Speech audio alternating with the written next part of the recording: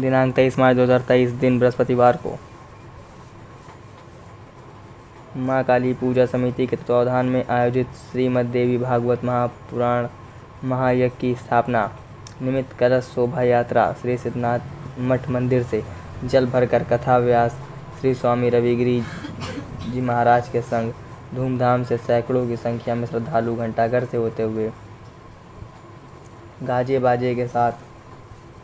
कार्यक्रम स्थल राजा हीरा सिंह धर्मशाला, मोहल्ला, फतेहपुरा, बहराइच में पहुंचकर देवी भागवत कथा के प्रथम दिवस कलश स्थापना की।